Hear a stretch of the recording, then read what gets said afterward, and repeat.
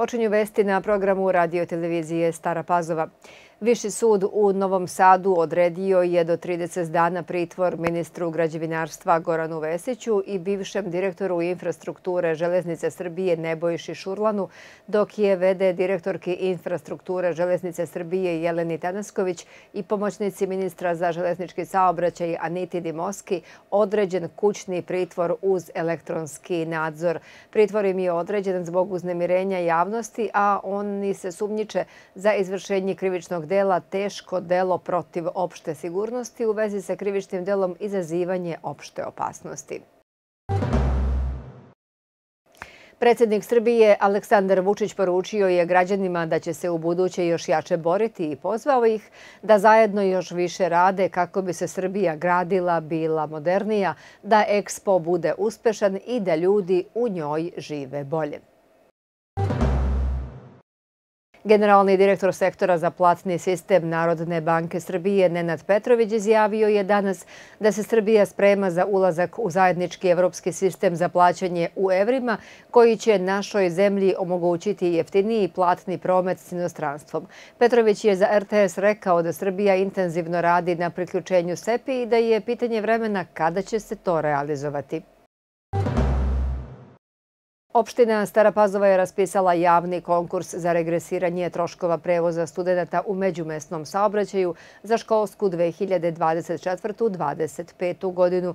Pravo na regresiranje troškova prevoza imaju studenti sa prebivalištem na području opštine Stara Pazova koji svakodnevno putuju na međumestnoj relaciji od mesta stanovanja do ustanove visokog obrazovanja. Školuju se na teret budžeta, prvi put upisuju godinu studija i nisu korisnici studenta studentskih stipendija i kredita. Konkurs je otvoren do 2. decembra. Obrazac prijeve se može preuzeti na pisarnici opštinske uprave Stara Pazova i na zvaničnoj internet prezentaciji opštine Stara Pazova. Prijeve sa potrebnom dokumentacijom se podnose opštinskoj upravi opštine Stara Pazova, Svetosavska broj 11. Prema najavama iz elektrodistribucije, zbog elektromontažnih radova u ponedeljak 25. novembra u Novoj Pazovi u periodu od 9 do 12 časova bez struje će biti potrošači u sljedećim ulicama. Despota Stefana Lazarevića od početka do brojeva 27 i 20, Jovana Popovića također od početka do brojeva 79 i 58, Drvarska, Marije Bursać, Proletarska od početka do brojeva 49 i 62 Boračka, Filipa Višnjića i Radeta Končara. Istog dana u Vojki u periodu od 8.30 do 10 časova bez struje su potrošači u ulici Svetog Save od brojeva 29 i 24 do kraja ulice, a od 8.30 do 13 časova od broja 141 i 142 pa do kraja ulice kao i ulice Partizanska, Bogosava, Grujina i Teslina. Sinoć je u Golubincima održana manifestacija večeri i noći Ilije Žarkovića Žabara u čast ovog golubinačkog pesnika i tamburaša. Poetsko-muzički program u čast poznatog golubinačkog pisca, muzičara, kompozitora, tamburaške muzike, istraživača i svestranog umetnika Ilije Žarkovića Žabara i ove godine su pripremili poštovaoci i njegovi prijatelji, ne samo iz Golubinaca i okoline, već i gosti iz Hrvatske.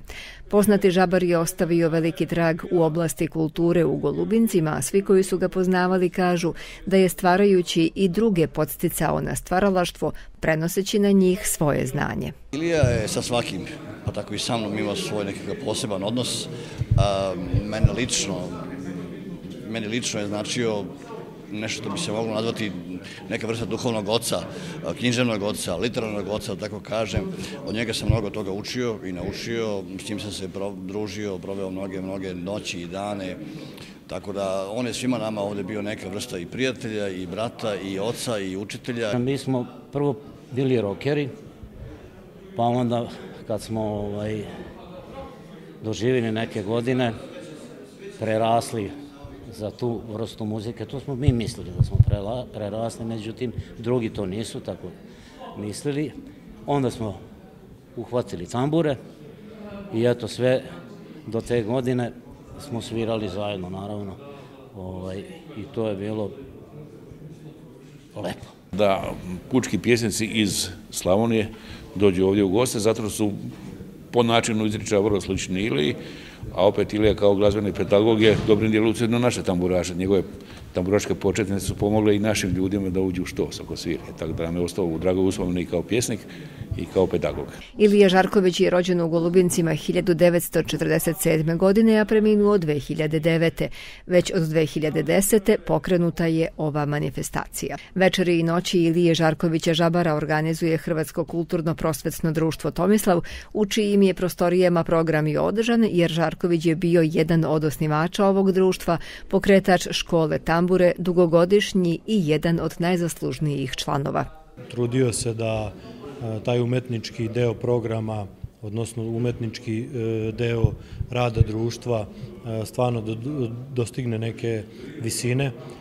Mi smo svi u tom, u tom ovaj, sazvežđu nepoznanice, da nije bilo njega, ne bi, ne bi napravili to što smo napravili tako da ovaj, smo zahvalni na njegov rad. Na ovaj način i kroz ovu manifestaciju mi smo želeli da damo jedan mali svoj doprinos eh, kako bi Ilija ostao upamćen i kako bi mu eh, odali zahvalnost za sve ono što je on eh, učinio za naše društvo, za Golubince. Manifestaciju su podržali opština Stara Pazova i mesna zajednica Golubinci, a u programu su se nizale pesme i recitacije kako Žarkovićevi stihovi, tako i pesnika koje je on voleo.